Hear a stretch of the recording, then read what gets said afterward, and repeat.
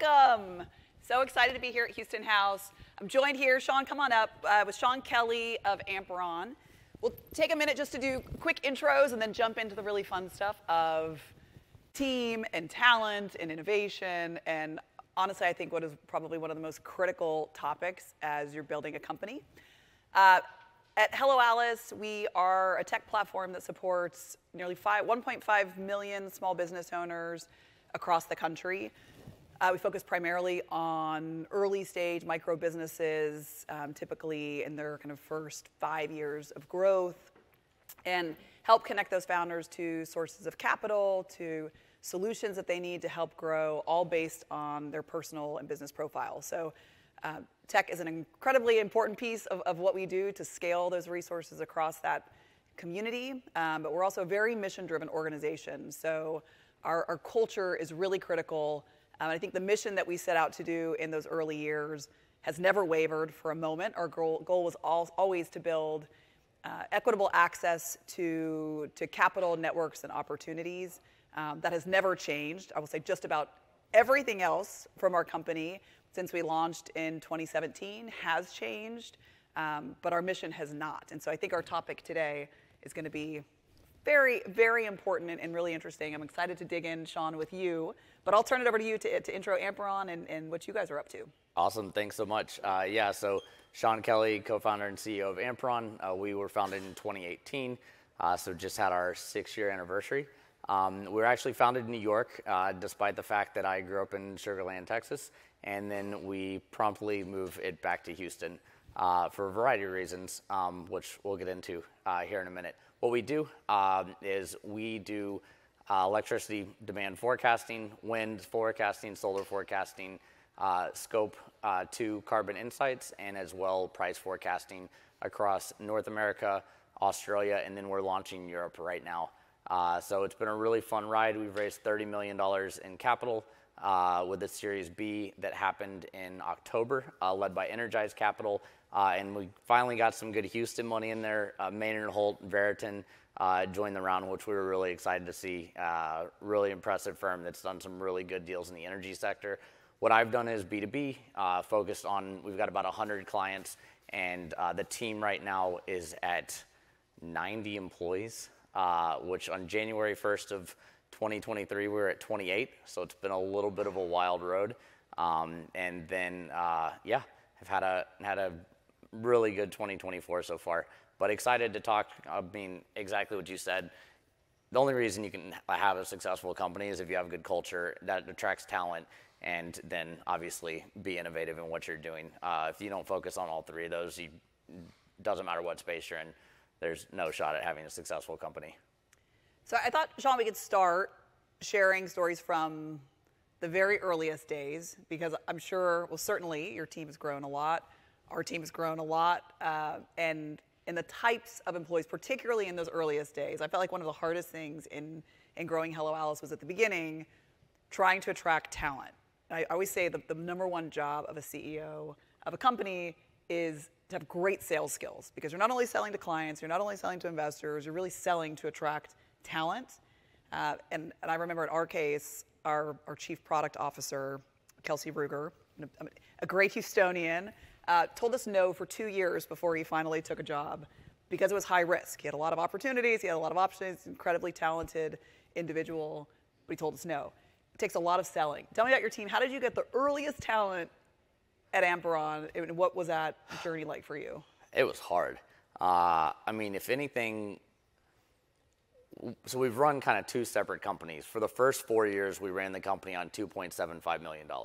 The last two years, we've run it on 27 million raised. So it's really been a different story. And for us, I mean, the big thing was doing product market fit.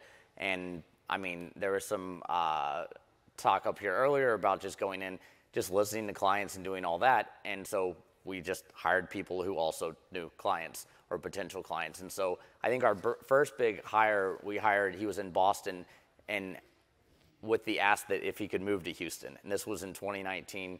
Uh, his name's Elliot. He's my head of product uh, still to this day. And so he wanted to move in. And when you're CEO at that stage, well, you're definitely more of a co-founder than a CEO because it's hard to be a CEO for like seven people. Uh, and so from that standpoint, you really have to like sell the dream. And the cool thing now is I can actually look back and there's so many people that I sold this vision to, and we've actually exceeded that. And so that feels really good. Now the people I'm selling the vision to, now I'm like, well, geez, this is a high bar. I've got to go exceed that again. And so just really having someone who knew what we were doing, understood what we were doing, realized the risk, and just being completely open and transparent. I think that's the biggest thing that's helping us hire now is we are just straight to the point. We let everyone know where we stand, where everything looks, what like what our performance metrics are, things like that. And so I think just honesty and transparency, people know that. People can tell if you're lying or not. Uh, and so I think that's the biggest thing to attract talent. We were very slow to hire at the beginning too. We were so picky of finding them, and that's how we ended up a remote team. Our very first hire, guy came in, uh, and he was, I mean, PhD, like former Microsoft research, did high frequency trading at DRW, happened to be in Israel. And we are like, okay, he's still there. He's been, he's about to have his six year anniversary with us. And so just being so deliberate and intentional in that and just finding the right fit. Because working at a company and working at a startup are totally different things, especially those early days. Uh, Elliot, my head of product, jokes that I offered him three. I offered him three jobs and said, "Do you can you code? Do you want to sell, or do you want to run product?" And he's like, "Great, I want to run product." I go, "Perfect. So you're in charge of product, customer success, and technical sales."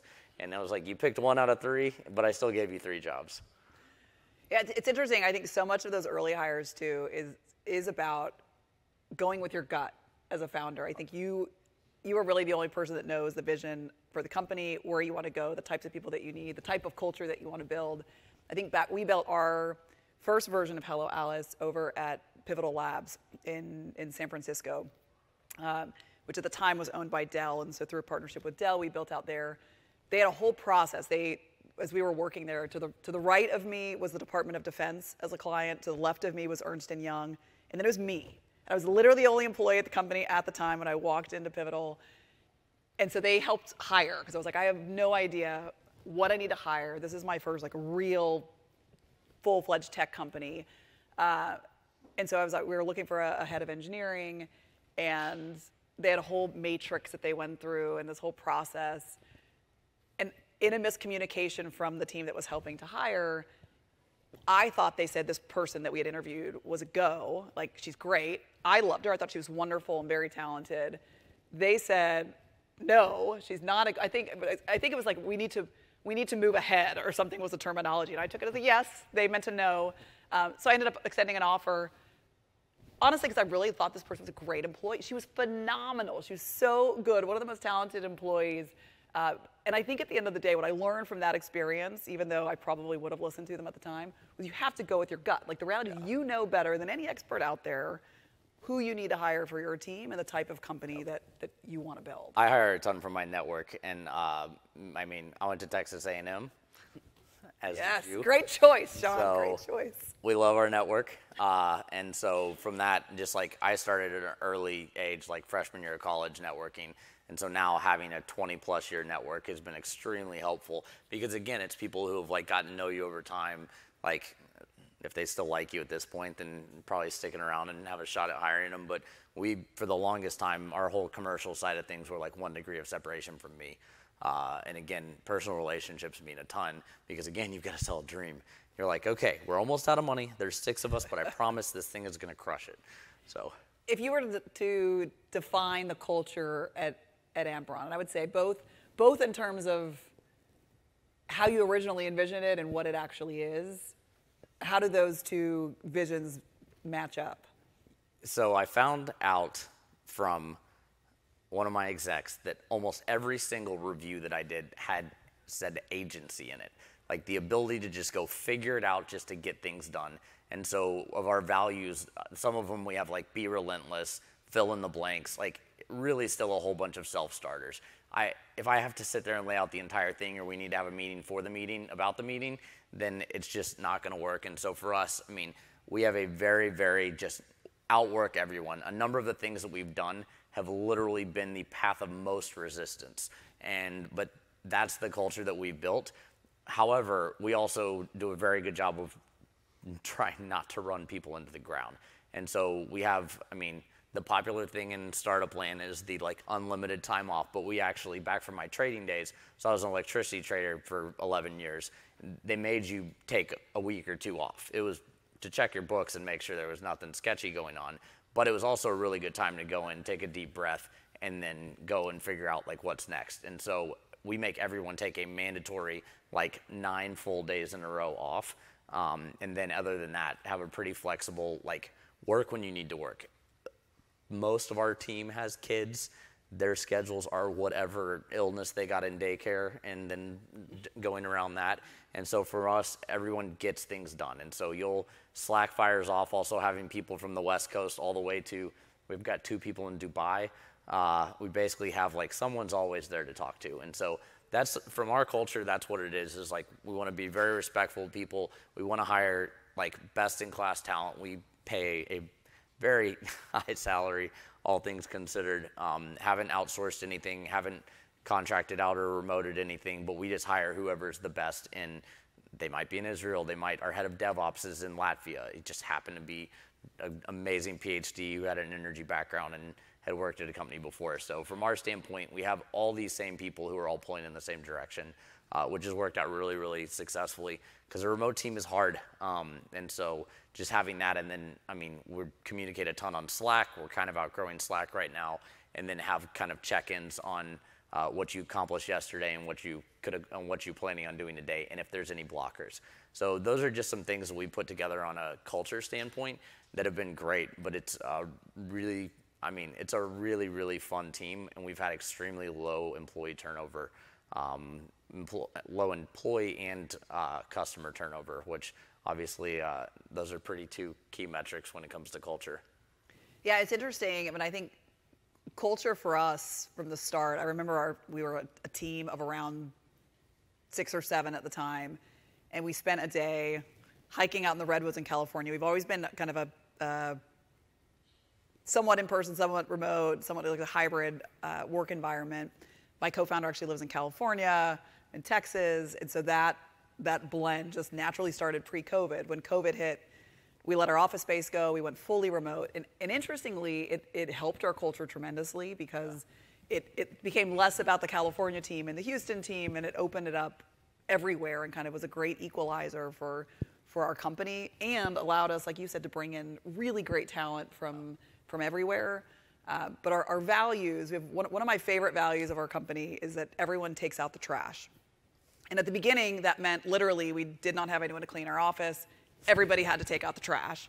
Uh, but it has continued to have great meaning for us in that there is nothing that is too small for any of us or beneath any of us. And that means that sometimes I am, you know, editing copy on the website or, you know, putting formulas in an Excel spreadsheet or whatever it might be, uh, or literally physically going to do something. We're hauling boxes, we're packing things up after an event. Like everybody jumps in and yep. dives in. And I think that culture has, has been so powerful for us in terms of everybody hits hard times, everybody has failures, everybody experiences things in their personal lives, whether it's kids or you know, aging parents or whatever it might be, pets, anything.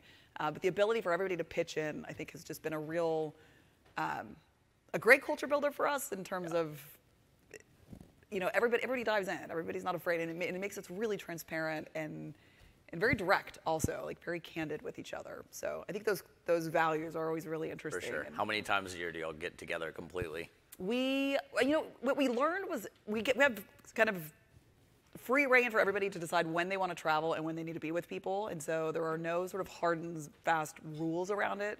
We do have our our leadership team gets together four times a year. We're in person, and we do like a deep dive strategic planning session. Um, and then we have clusters across the team that are constantly getting together. And then we do a ton of small business events all across the country. So that's a great way that we're in front of our business owners, but we pull team members together and make sure that everybody has time yeah. with the team. Because I do think that in person is, is critical. Yeah, it gets there. So we are, uh, I feel like I'm basically hosting a wedding but I booked 90 hotel rooms in Puerto Vallarta for the end of April, and the entire team is flying from all over the entire world at an all-inclusive resort. Uh, and so pretty funny, but I looked at the cost. Last year we did Houston, and we had a blast. So at that time we were 38 attended last year. This year will be 90 plus or minus. uh, and we were at the um, at the post. Unbelievable office space, the old post office. Yeah. So we were there, and the best thing we had is we had a leadership, uh, a, a guy leader, a leadership coach who does this professionally, ex-military. So what he set up for us is he brought in a scavenger hunt all over the city of Houston, and I mean, I was born in Sharpstown. We got out of there pretty quick. Uh, grew up in Sugarland, and like I've spent, I mean, all but like most of my years in Houston, and that is definitely home. Uh, but I did not know where a ton of this stuff was downtown. And so you had to go around and figure out like where a mural was or where this was. And so we were all just sprinting around. Had like had to, you had a team with the map, uh, had a team with the map inside the post, and then you had half the team out running around. And so I'm pretty tall and like like to run, and the guy was probably like 10 inches shorter than me and also like to run, but I'm also super, super competitive. And so we wound up running and sprinting around, and it was not cool outside in like jeans and a older version of these sneakers, and it was an absolute blast. But in terms of team building, you have those type of things that you just can't like. You can't change that. I mean, the let, going and playing with the data scientist paintball, like that's great culture. You get to shoot the CEO all day if you're mad at him. So didn't get that raise. so I think particularly when you're not together all the time, it's even more critical. And it's interesting because the energy when we do get the team together is 100%. so powerful. Like we do, we have these small business scavenger hunts because we're very big on small business, obviously. Uh, and so we'll pick a city and go around, and very similarly, like everyone has their, and even when we, we do it remotely, where we'll send gift cards to the whole team, and everybody has to go out and you know buy an ice cream and you know, pop in a bookstore and all these different things just to get to know the small businesses in their community. So it's always, I think it's really fun to kind of build those things that are culture building for your own, for your own company in your own way. And it's so different for every company. it is definitely. So let's talk about the innovation side of the equation. Yeah. Obviously, we're both tech companies, but I think it's interesting and it's such a completely different world. So I'm curious to hear how how you foster innovation. I mean, the companies, I think both of our companies were really built on innovation. It's why we formed in the first place. But how have you how have you maintained that? And I think it's interesting to, to think about how that grows and evolves as the company grows. I think that scrappiness and that like hustle that, that you have when it's five or six employees, how that evolves when when you're at 100 companies. I think we've both been there. Like, what is what does that path look like in terms of innovation? Yeah, I mean, I think innovation is just having a very like diverse group around the table and then listening to all of their different feedback on things. We've got people who have worked predominantly at startups. We have people that have worked at the biggest of the big. We've got some ex Meta and Amazon who have some really good takeaways and some really poor takeaways from their time there. And so it's just it's interesting if you basically one of the things I always say is I onboard every employee. And so within the first 2 weeks, I take 30 minutes to sit down with them and a couple of reasons.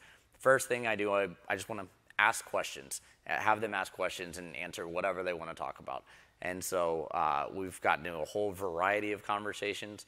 Um, and but that kind of helps set the again from a culture standpoint the open door policy because the thing that I always say is having worked at having 90 employees I have by one degree of separation worked at more than 500 companies right and so if you can go take what you see at all those different companies then take the best of those I tell everyone I have like Ale one of my engineers who's down in uh, Argentina he comes in and he's like, "Man, you're doing this, this, and this right." I was at a company that sold for 100 million. You're crushing all of these things. Other people will say, "Hey, uh, we did what we're discussing doing here, and like it didn't really go well at first, and here's why." And so getting all that feedback, and so I think from an innovation standpoint, that helps a ton. And then on the tech stack, bringing in best and brightest on the tech side, that is what has helped us. I mean, my co-founder uh, sold a hacker company to Intel coming out of college um, was pre-IPO at Etsy, early at Planet, um, like spun up a data science team at McKinsey when he was 25, and Forbes 30 under 30 um,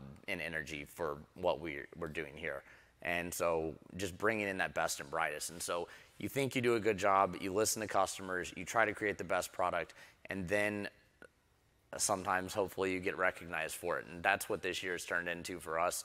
Um, we just got named uh, Times 250 uh, Green Tech Company, And then we also got named uh, on the top 50 in AI on the A16Z Andreessen Horowitz American Dynamism.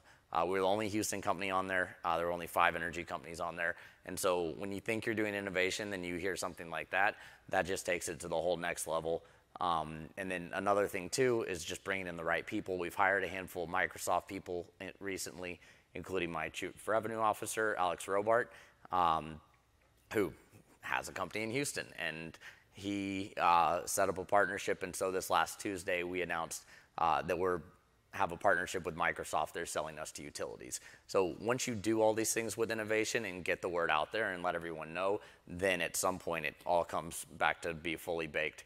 Uh, and you kind of look at it from, I mean, you get to sit here and say, hey, we've worked really hard for six years and it's good to get that recognition. But innovation, you can't do things the status quo, and asking a ton of questions uh, makes it never go status quo. So let's let's talk like in the weeds detail because I think it's really great to talk yeah. Innovation. Yep. actually, what that means, I think it's interesting. One, I feel like there, there's innovation just to the pure business model, right? How are you going to market? How is it different? How are you disrupting what the status quo is? And I look back, like when we started, as an example, we went out before this was pre, I think, you know, the whole DEI space has evolved a lot over, over the last years, but when we started, it was a, an afterthought for, for everybody. Um, and everybody told us we should be a nonprofit. Sounds like a great nonprofit business you should go start. They like pat us on the head and send us out the door. And, and we knew there was an opportunity there. Like I was absolutely convinced there was a massive financial opportunity. 99% of businesses are small. Nobody was tackling the small business space. Nobody was using technology, certainly, to support it. And, and I knew that if we could do this at scale, there was, you know, on average, those 99% of businesses, even in their first two years of growth, are making two to $7,000 of outsourced transactions a month. It's a lot of volume of transactions when you think that yeah. there's 33.5 million small businesses in the US that nobody's nobody's thinking about. Uh, and so we, we kept going, we kept going. I think so from a pure business model standpoint, we were very convinced there is a real profitable business here. It took us years to get there. We had a lot of hurdles to get over, but we did it. Now everybody's like, oh, we're so great we could, you know, so it's such a great it was really idea easy. that we could support from the beginning. wonderful. You were just in the right place at the right time. I'm like, we were there before anybody was there. Like, we weren't in the right place at the right time for yeah. many years when you think about your business model and how you came up with with the innovation, how you how you thought that this is this is a viable business model that we need to go out and build. Yeah. What did that process look like for you? Yeah, the, I mean, great question. Uh, the process for us was people who know about energy live in Houston.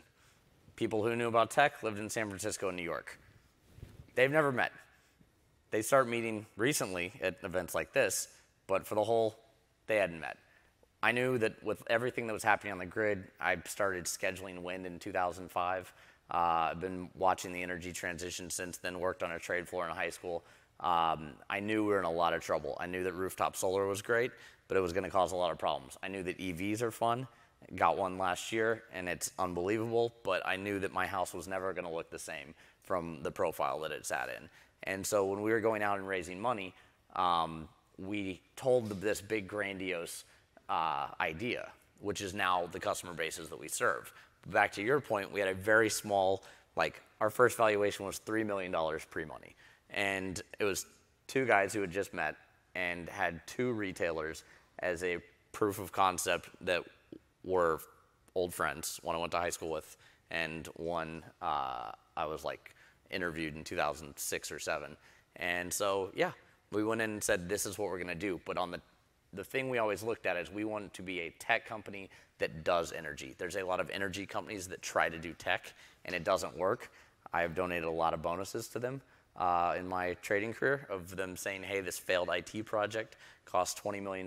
We're sorry that we can't pay you what you deserve this year, but are bad. So on the innovation side, that's where it was. We knew what was coming. I knew this market, and I knew that all of the energy transition that was coming was going to put us in a really bad place. And we needed these people who I was living in New York at the time were working at Google and Facebook and like these crazy data scientists. And I knew that these people had to meet, or we were going to be in a lot of trouble. It's interesting when you talk about. I think that the because I've had a business that has failed, and so I always try to look back of like what is the difference of the company that failed versus the company that succeeded? Because the reality is I heard no's with both and how to differentiate between those two. Because a lot of people ask me, like, how do I know if my business is, is a viable opportunity or not? And I think the difference is with, with the ones that are viable, there are enough yeses, there's enough support, and, and does the customer actually see the value at the end of the day, right? The reality is investors don't necessarily have to see the value. They may not for a long time. Partners may not see the value for a long time. The press may not see the value for a long time. But if the customers see the value, that's the Yeah. really critical piece. And so I think focusing on, on what they need, how are you innovating for them? And it's very difficult, right? Because you, you get this investor base that's behind you, they have an idea of where you need to go. You know, you do make these grand plans, and then you learn, and then you have to shift the strategy sometimes. And it's really hard to let go of, of what you thought and what you, what you promised. And how do you actually shift and do what's best for the company? And so I think Yeah. we've always been really transparent with our investors as things have changed. Look, we know we said this, we know we set out, we, this is what what we plan to do. Here's what we've learned, here's why we think we need to change that. And, and continuing to innovate always for the customer at the end of the day. How, how do you all navigate what, what the plan was and what the reality is and how you bridge Yeah. that both internally, because I think there's certainly the side to investors, but also to your team. 100%. And I mean, from our standpoint, you want to ask for customer feedback, but also every customer, we're a software company, will happily turn you into a consulting company in under five seconds. And consulting companies are great, but they need to be consulting companies. Software companies that start consulting, it doesn't normally end well. Um, and so I think from us, uh, just being like very, very focused on that, uh, of, like we would scan. So we, we're launching Europe right now, and so there's we're building out 21 countries, and we built a very repeatable process. It's going to take us six months to fully stand up 21 countries. PJM, which is like the Mid-Atlantic region, took a year and a half to stand up just part of the U.S., and now we can stand this up this quick.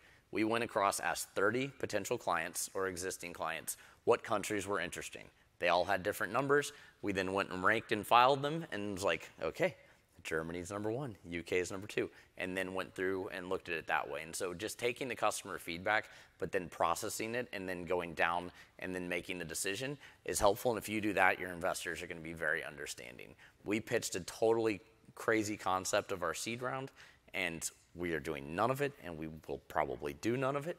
But it was, it looked like the right thing, and then we raised our seed round. We raised two million bucks, and to go build a marketplace, which costs like add some zeros to that, uh, to the two million, and then COVID happened, and I was like, okay, now is not the time to innovate. Now is the time to like block and tackle. Then after COVID, what happened for those of us who live in Texas? Winter Storm Uri, and so when you deal with, I mean, when you deal with people that are serving electricity demand, Oh, yeah, they're not ready to innovate then. They're just trying to keep the lights on. Um, and so I think you just, you've got to look at what the market gives you uh, and to an extent on top of what the customer says. But if, again, going back to the open and transparent thing, if you have a good working dialogue with your investors, they're totally down. I always say there is nothing surprising should be at a board meeting. Everything should be done and orchestrated. It should just be literally a three hour bookkeeping session of here's what this looks like, et cetera. We've already had all the hard conversations ahead. So, yeah, I think just keeping that transparency the whole time and internally.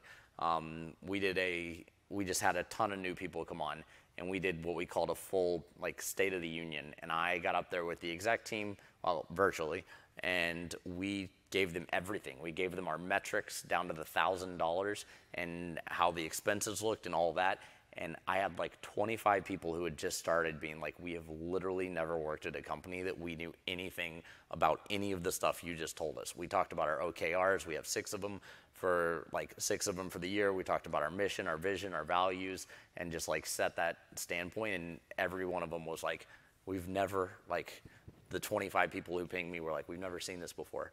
And so we recorded it. Now it's just included in the onboarding packet. So I think those are some of the ways, again, just to kind of get ahead of this. Yeah, it's inter- I think I do think the transparency with the team goes so far, and I think about our, our early years. The reality was it was it was difficult because we had a really lean team, and so trying to track all these metrics requires capacity. And it felt like by the time we could get the metrics, we were on to the next thing. And and so we I would say we had probably less transparency in our earliest years. We've evolved where we are real time transparent with everything, including our finances, where we stand. Um, and I, I think particularly, I mean, there have been periods in our company where it was a little scary to be that transparent with our team. 100%. And, and we were very forthcoming of like, look, here's here's where we are. We may have to make layoffs. We may have to make some really hard decisions.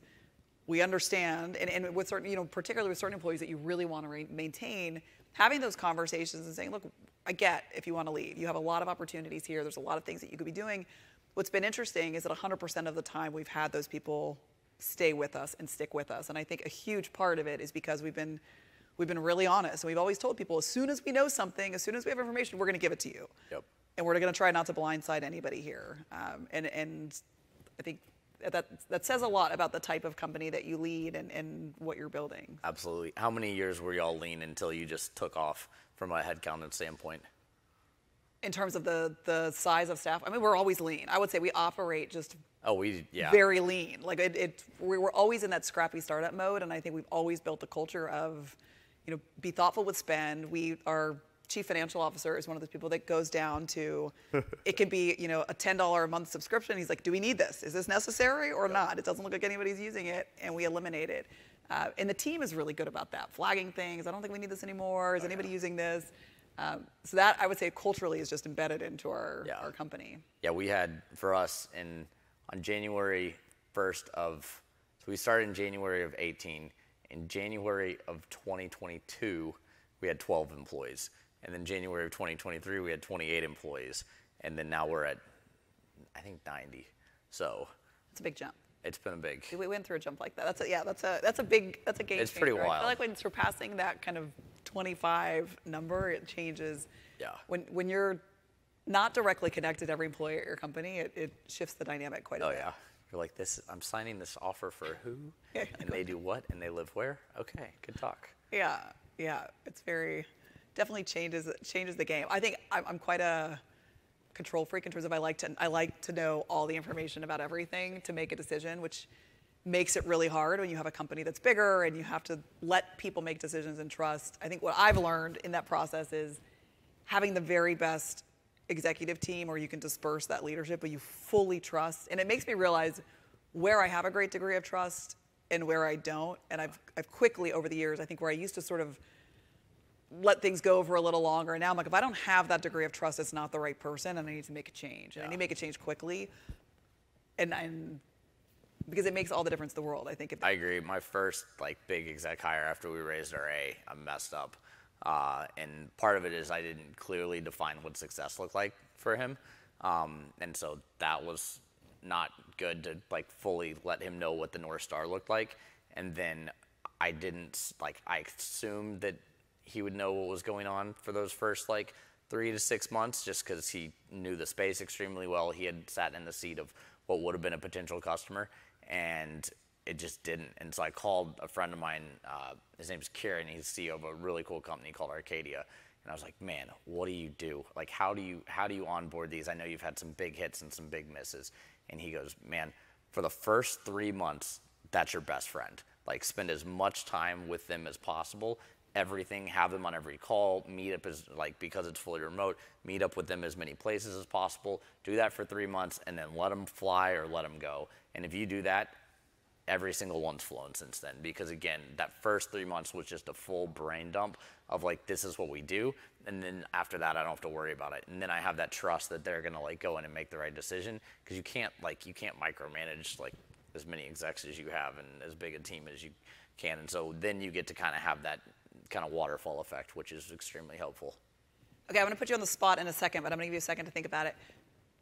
I want to talk about failures and, and where we've screwed up as CEOs. Uh, but I'm going to give you a second because I'm going to share mine first, so you have a minute right, to think right. about it. Um, so I think it's it's really important of, of the learnings over the years, and I look. I mean, there are a million screw ups, and failure is one of my favorite topics to talk about because I think it's it's where the biggest learnings and, and leaps come from. But if I look back, I think in that, I would say it was in that that jump from the because we did a similar leap at our company from that like 25 to 100 jump, and we've we've come back since then a little bit. Um, and so I'll, I'll share some learnings on, on, that, on that journey. But the biggest thing for me was when we when we scaled up, we had closed our Series B. We had funding. Things were booming. We were one of those companies that actually did quite well during COVID um, and grew tremendously fast, much faster than we anticipated. And it really threw, I would say, our entire strategy just shifted overnight for the better, but there were a lot of pain points along the way. And we brought in, we built up the team really, really quickly and brought in experts that were very much came from the corporate world um, and, and put a lot of trust into that team. And we went through this phase with the company where it was like everybody needed more, everybody needed more, everybody needed more capacity, everybody needed more people, everybody needed everything. And we just said yes because things were growing so quickly. And very quickly what happened is that, is that there were there were one way too many cooks in the kitchen, I think, for projects. We had we had set these things out. Things were changing rapidly in fairness, so it became really difficult for the team. But everybody had an opinion. There were a lot of conflicting opinions. And I was like, culturally, if I think about the low point at our company as a team, it was during that stage where amazing people, the employees were phenomenal, the talent was great. It, it wasn't the, it was too many, too many different visions happening at one time. And, and we stripped back and we said, look, we're gonna, we're gonna completely cut out this layer of, of this like middle range of, of management and, and ripped it out completely and, and did it kind of an overnight shift. And it was amazing in the span of 30 days how much our team culture shifted back. We got back to that scrappiness. We got back to the doers. And ever since then, the big rule that we've had is that no matter what level of the company you sit at, one, you have to operate very cross functionally, always. It's critical at our company. And so if you're not always operating with other team members, uh, and building these clusters that are very cross-functional, it's not going to work. Two, everybody has to stay in the weeds. And so there's some job that they have to do that is at the very kind of the deepest trenches of the company where you can't just be a manager, you can't just be a strategist, you have to be an operator. And that ability for everybody to be an operator, I think, changed quite significantly. But I will say it was a period where I look back at how much we spent in that learning lesson. It was a very expensive period of time for our company. Um, but a great learning lesson, and I think I've, I, in hindsight, I'm, I'm glad we went through it, but certainly don't want to go through it again.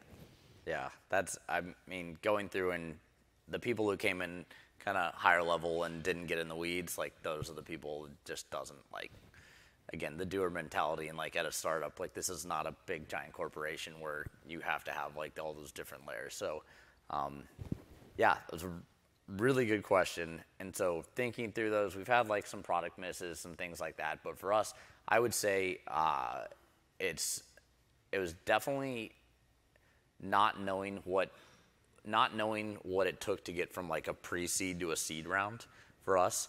Um, and so not knowing like what those metrics are, there's a few like little things I could have changed. We had a very rough uh, seed round. It makes you much more impressive, like much feel much more like accomplished when you have a really good Series B.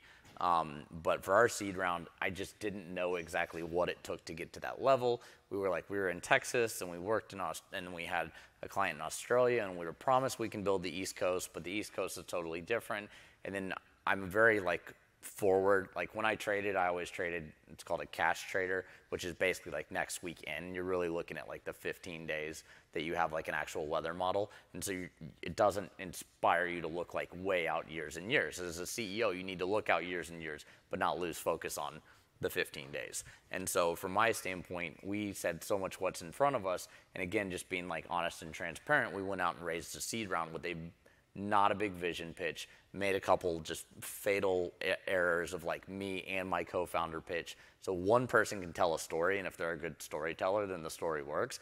Two people can almost never like tell a story together. Uh, like even no matter how closely they're connected, or if that's who you talk to every single day. And so just a few errors that I had like that. That's why I spend a bunch of time with uh, early stage startups, just like helping them and like coaching them around fundraising, because like that would have made a massive difference in dilution, how much runway we had, how quickly would it could have built. And again, I'm thankful for it. We had some great partners come out of it, um, and we're we're here today and everything's going great. But nonetheless, like that was a really really hard time um, because I didn't know what like what the next step was. And so now being like having our series B in October, I already know what a series C exactly looks like, what metrics I have to do, what I have to do, how I need to direct the team, product expansion, all of the above. And like now it's like, okay, we got this. But again, those early stage, you just don't know unless you talk to somebody who's done this before. There's not, I mean, there's books, there's lots of books, but you need to actually talk to somebody who's done it before. I, what, what, speaking of books, one of my favorite books is The Messy Middle. I think it's a great, it, it goes like piece by piece of a company of basically everything that go wrong and how to sort of unravel all those, all those pieces. I always feel like no matter where our company, as it's grown, even in the early stages and the later stages, it's, it feels like you're always in the messy middle. Yeah. It's a really, a really good read. Um, so Houston, raise your hand if you're in Houston currently. Wow, I would have thought we'd have more Houstonians here. Here, great. Uh, okay, I want to talk about building a company in Houston specifically. You mentioned you started off in New York, Yeah. came to Houston. We started actually heavily in California, shifted a lot of resources over to Houston. So I'm curious what what brought the move to Houston. Yeah, it's, I mean, I mean, you're in energy. I'm guessing that had something to do with it. energy was a ton energy and like starting to raise a family but when i left in 2013 like the houston i left in 2013 probably would have not come back to um, but just that jump i came back in 2019 was just a massive jump. Um, and so i mean you got to see things of like greater houston partnership. And so i started looking at that. One of my first like the one of the first people that ever gave me the time of day i was a I think senior in uh, college was uh, Bob Harvey, who ran Greater Houston Partnership, I guess, for the last 10 or so years. Uh, and so, like, with that, he really made a push for this. You started seeing a whole bunch of like Greentown Labs coming, the Ion coming, uh, just a variety of number of these like startups. And so it's gotten talent actually here. And cost of living is still not that bad in the scheme of things. So the talent pool is a ton better than it has been in Houston. And then for us, being in energy, I mean, a third of the clients are just right down the road.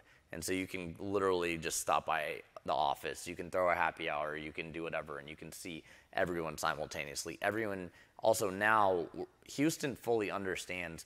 You have some people who think the energy transition means completely get rid of all oil and all gas as quickly as possible, and then and just build as many wind farms as possible and stick solar on every single roof. And that's not going to end well. Um, but then you also have these big companies. You look at a Shell, a BP, who've completely changed everything and are completely like leading that move. And then you have some people. I mean, NextEra is a great example of they were Florida Power and Light, and they rebranded however long ago and are now one of the leaders in this entire space. Engie, French utility, one of the leaders in this entire space. And so that's where we're seeing all of this come together. And so Houston actually understands the energy transition, in my uh, personal opinion, because we need to do a whole lot of different things, but we need to do them on the right time frame or it's not going to end well. And I think Houston's the best place to look at that. The tech talent is getting better, the energy talent is getting more thinking outside the box. I'm in electricity because I literally got out of college. I went and talked to an oil trader, a natural gas trader, an electricity trader. The electricity trader was 26 and doing really well. I was 22. 26 is closer to 22 than 50 is. And so I was like, we're going to go with the 26 year old who's crushing. And that's how I ended up in electricity back in 2005. So, and now it's the popular thing. We've been cool for, I think, coming up on two years now. So. All in due time, right? All in due time. It's interesting. I mean, I think when, when we started, it was like you had to hire your tech talent in, in San Francisco. It didn't seem like there was any No. other option. Maybe New York, maybe Boston, but very few markets where you could find tech talent. And I look now where some of our strongest engineering talent is. One, we have a good dose in Latin America, uh, in Colombia. We have, but but North Carolina. We have a great engineer in Wisconsin. I mean, it's just random places. Houston, we have great talent in Houston. It, it really is quite dispersed, uh, which I think is really interesting. I think COVID also probably, you know, the pandemic just spread a lot of that talent yeah. all over. Um, but it's been interesting. I kind of feel like it was like the great equalizer that the tech talent has has really broadened. Um, but Houston, at the end of the day, I do feel like the the culture that sits at the core of our company is very Texas. We were, Yep. like I said, 50-50 California, Texas, and if you can pick more opposite states, we did. we we overwhelmingly as a company, and my co-founder would agree. She's like, we've got to go the Houston path. Like Houston is where it's at, and we, we really started to funnel a lot more resources. Um, Yeah. A lot, I mean, a lot of it too. Houston is here with like arms open and like welcoming people in and actively recruiting. And there's, I lived in Illinois, I lived in New York. Both of them have their pros and cons, um, but they're not trying to be business friendly states right now. Um, and Texas is literally like, let's go, everybody, like come show up here. And so I think that's just a really huge driver. Um, I mean, from everything, from I mean, from how much you pay in taxes to like all of the above. So I mean, it's been really good. We moved our headquarters down here fully, I guess, in 21. Um, but I would say definitely at our core, we're very like Texan, uh, even though we only have, I think, 14 out of 90 there. Because yeah, you're seeing all these like little hubs all over the place. We've got a great customer success guy in Nebraska, and then like we have a little few people. They're so in nice in- in Nebraska, I know, right? like okay, we can. The nicest people. are Ours is in Minnesota. It's our head of customer Solid, solid. Interesting. So we've got Louisville for heavy CS too. Uh-huh. I'm like okay, all the all the like right in the breadbasket. That's awesome. So Um, I want to open it up for questions. Maybe if you all have questions, just come up to the microphone uh, and and jump in while we're waiting for anybody to, to pop in with questions. What, Sean? How would you define your role if you were to define your biggest responsibility as a CEO? What when you wake up in the morning, or you think about the next quarter or the next year or whatever it may be, where do you center your your time and energy? Oh, goodness gracious. Um, I mean, I realize just kind of going back to the talent into the culture. I mean, even the innovation is you've got to inspire, you've got to lead. And I mean, again, the the take out the trash. You need to show that you're willing to do everything. You're willing to go set up at conferences. You're willing to go run down these lists. You're willing to give feedback on every set of. But at the end of the day, you need to be out there just leading and inspiring and showing people like we're going this way. And so I think for me, that's what I look at and like in everything I do and every like action is just realizing realizing that I have a ton of people looking at me, and so going out there and just saying like, hey, this is what we're doing. I got on my group morning call, uh, like, and jumped on Teams like video with the South by Southwest in the background, and I'm like, this is what I'm doing today, and it's awesome because we're talking at a pure, not an energy panel. It is a pure like tech startup panel. So yeah, I think for for myself, that's what that's what I realize now, and I'm I've got an executive coach now. My board is on me at all times of just like, what is the best use of your time? Uh, and it's hard. It's hard to prioritize your time. I'm still, I spend a ton of time, read all my coach's notes on the Vaughn Lane from Houston this morning. I was like, oh, okay. I didn't do that one. Sorry, Maggie. Uh, It's a, yeah. it's a journey. It's what a about journey. yourself? I would say being decisive. I learned, and it wasn't something that I think came supernaturally to me. I like to always hear both sides, get a lot of information. I'm not always necessarily the fastest decision maker, and over the years, I've learned quick decisions are the most important thing I can do for the business, uh, and and because it provides clarity and it allows everybody to move forward. I didn't, I never realized how much my opinion mattered to the team. I think I always tried to build a really kind of egalitarian culture and, and that Yeah. where everybody had a say, but that the team really craved. And it was interesting. In, in my feedback, I would always hear, we, we just, we, we want the, like, we want that, that they really wanted it. And it was hard for me to understand that because Yep. When I was managed and when I had managers, I didn't want them, which is maybe why I'm a CEO. I didn't want anybody to tell me what to do. I had my own, my own opinions. Uh, and our team does. I mean, they have a lot of freedom. I realize no matter how much direction I give, there's a lot of freedom within that in terms of how they operate and execute uh, and implement. So I've, I've learned to be much more decisive over the years. I like that. Are there questions? Yeah. Hi. Um, this first one is for Sean and then for both of you. Uh, you you've been hiring highly, um, from what you've described, highly technical folks. How are you ferreting culture through the process? It's a little bit tactical. And secondly, more tactical too. As you're growing and you have a limited budget, like in a startup, are you using recruiters? Do you see that as a, a viable? Because that can eat up some of your budget. I hate recruiters. Um, sorry if there's any recruiters out there.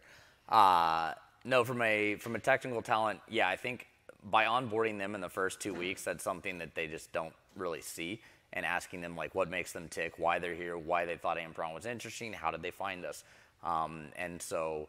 Uh, so I mean, I think from that standpoint, my VP of engineering um, is super impressive. Uh, her name's Kalpana, and she's done this a handful of times. And honestly, like having a woman at the top of VP of engineering helps from a cultural standpoint a lot. Engineering can have a tough culture sometimes.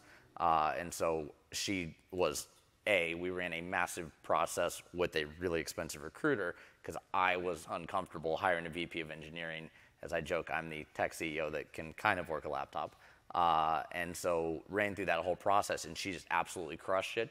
But we also knew that on the people side that she was going to be above and beyond. She's done this four times. She's been VP of Eng. Uh, and so she's really done a great job of setting that culture. The engineering culture since she started last July is like 10x better.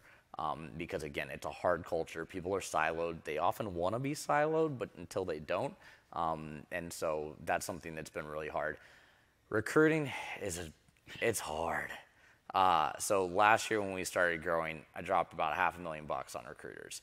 Um, and so I would say, if you're gonna use them, because there are times that you have to use them, there's a couple hacks, is make sure, try to get you can't actually always figure out if somebody's worthwhile in 90 days. And so when I hired the VP of Eng, it was an expensive recruiting, but they had a one year guarantee on this position, which made me feel a ton better. You will 1000% know if somebody's good within a year.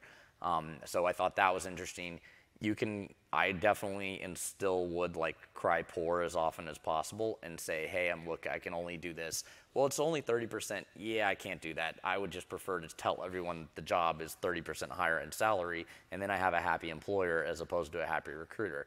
Um, and so they'll often like let you beat them down to about 20% um, and so that was helpful uh, they're necessary evil until you hit scale but we went and hired a really good new york technical recruiter and he has probably saved me a million bucks since he started in September uh, in what I would have paid in fees. Because again, on the commercial side, I'm very social. I'm older than my co-founder. I've been doing the energy space for 19 years now, and so like it's very easy to do one degree of separation from me. And we've got a talented commercial team who commercial people like especially sales have to be outgoing and social so they're like oh my gosh i worked with this great person awesome we'll bring them in on the engineering side, it's a lot less so than that unless they're in management. So the other way you can do this is find someone, like I asked this on all of my, like all my manager ones. So I was like, how do you inspire people? Who would you bring over here, assuming I'm not going to get sued?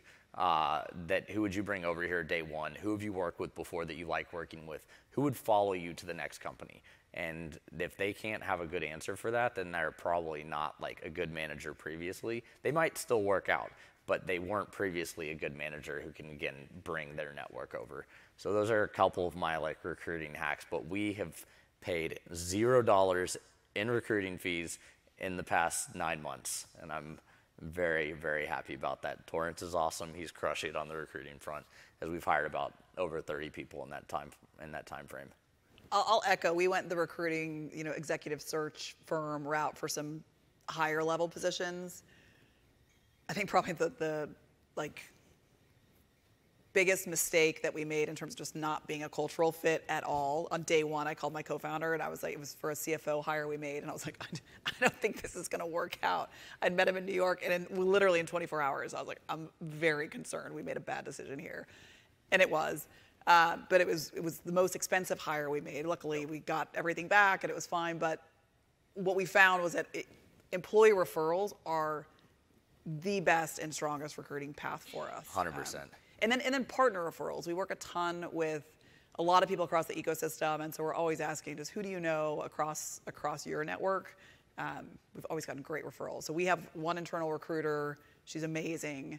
Uh, it helps she has a British accent, so she can say things like really, really hard conversations with a British accent, and everybody loves her just the same. So she's she's That's a great awesome. recruiter. Yeah, that is one I completely echo get an internal recruiting program done as quickly as possible. We went in and I mean we pay I think 5,000 uh, per and everyone's ecstatic about that. But when we were like really hard up for engineers, we just doubled it because there's no recruiter getting anything for 10k and they will literally everybody we might only took it to 8 but everybody will get out of bed for 8K. I'll still get out of bed for 8K for sure. I'm, unfortunately, the recruiting program does not apply to me or I'd be retired. So, um, but yeah, internal recruiting program is huge because they're not going to risk their job on somebody that they don't think is going to perform. Mm-hmm. Do we have another question? Hello. Um, so, as as a executive in a tech startup and someone who's kind of newly navigating the corporate structure since a buyout, um, I'm curious. I mean, listening to conversations like this are extremely helpful and insightful. So, um, outside of South by, do you guys have any other leadership or executive-driven conferences that you try to frequent or attend to sharpen your own skill sets? I'm part of YPO, Young Presidents Organization. I find it to be a super helpful network in terms of just a lot of transparency across other other CEOs navigating growing companies. Um, it's been really helpful for me. It's also I feel like I can be very open about things internally with my team. There's a great deal of confidence in that. There's organizations for women, particularly like Chief, that are really great. Um, industry organizations, but I think finding a forum, and even I would say before YPO, like, like I always had a really informal network of four to five other CEOs that were in unrelated spaces that I could just ask questions to, and there was zero filter because uh, I think it's so critical. There's so many things that you're dealing with that you can't. I can't even talk to my co-founder about sometimes because it's just it's something that she may have an opinion that's really different, and I, I just need a third-party objective source. And I'm super close to my co-founder, but you know, there's there's topics that aren't necessarily that easy to talk about with your team. Um, and my spouse, he's an entrepreneur too, but there's only so many things that he wants to hear about with my company. so it's good to have that that group. I think it's really important. Yeah, I think. I mean, in terms of this year, we're trying to get into more generalist things as opposed to just energy heavy. There's an especially because we serve so many different uh, like we serve utilities, we serve retailers, we serve traders, we serve municipalities and co-ops, we serve like power producers, we serve there's a conference every five minutes. And so like I wasn't even home for February, it felt like. Uh, and now with, with Europe. So I have not done a good job of kind of broadening my horizon uh, in terms of this. However, going back to this, I have, I mean, I have a ton of CEOs that I just hang out with who are all in the same type of position. And one of the things, going back to gentleman I mentioned earlier, Elliot, is he, he came in and he's like, okay, I want to, he's like, I know you have a network and like, it's fine. And I was like, no, no, no you're to come with me to these things and and there's a whole bunch of energy things I do like Clean Tech Leaders Roundtable, Dynamo, a uh, number of different things from that standpoint. Um, but surrounding yourself with people, if you want to have a good product person, have them hang out with other product person people, especially that are in a slightly different space than you or their competitors. If you want to be a good head of sales, sales is one thing. Head of sales is a totally different thing hang out with other people who lead the crazy chaos that is sales orgs. So I mean, that's where I look at it. It's like find people who have your same connection. And again, almost everybody will take a phone call because it's a lonely job. And so they will literally go in and say like, "Hey, I'm happy to chat with you. I have been watching your company. I'm a big fan of your company. I lead product at XYZ. I'd love to have a, just a conversation about some of the stuff you're going through. We're going through a buyout right now, and I just you just went through this six months ago. Would you like?" Can we grab coffee? I'm pretty sure if they, unless it's LinkedIn, because those don't always show up, uh, then like they'll have the conversation. All right, uh, we have just a couple of minutes left. Oh, okay, one quick question. We'll do one quick one. Thank you. Um, this great conversation, and I guess it goes back to you just made a point about your co-founder, and sometimes you can't talk to her about certain things. Now, you both have co founders. You both started the companies obviously together with them. Can you talk about how you both became the CEOs and how that relationship with the co founders has continued, you know, and, and continues to go? Yeah, Elizabeth and I, and I would say, are very interchangeable in terms of how we how we run the company. I think that the one thing I'll say is that we have our our like core values for the business are 100% aligned um, and always have been. And so there have been times where, where she stepped in, there was times where I stepped in. We have, I'm, I'm CEO, she's president. It's like, I don't even know which one, does, who cares who's what. It's less about titles. I mean, I started the company before she was there, and so that was sort of, I had the role, I stuck with the role. Um, but I think in terms of how we've managed it, she's amazing on the sales side. I tend to, to drive kind of the, the team and the vision much more. It's just the way that we operate. She's great at just pushing things forward. We have our skill sets and, and know where our lane is. I don't know there's a real formal structure to it necessarily, but there's a lot of clarity behind it. So I think it's so different for every company. I know some people manage much more on the operational side, others on the you know external side. It's a very different dynamic for everyone. But I've been really fortunate, and the the informality has worked really well for us.